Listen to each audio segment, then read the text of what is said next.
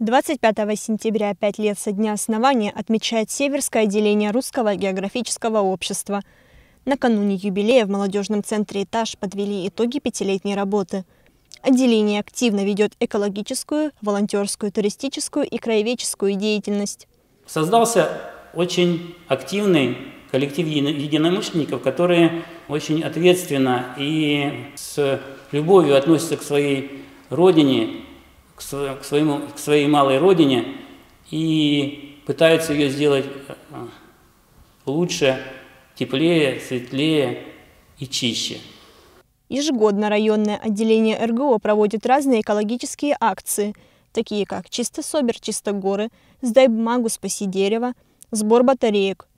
На базе общества действует молодежный клуб, входящий в двадцатку лучших по всей России – в планах фотовыставки о природе, прокладывание новых туристических маршрутов в районе и уход за памятниками и достопримечательностями. Приходите к нам в Северское отделение. Мы живем очень интересно и всегда будем вам рады. Каждый новый человек – это искра новая, нового дела, нового проекта, который мы вместе сможем реализовать.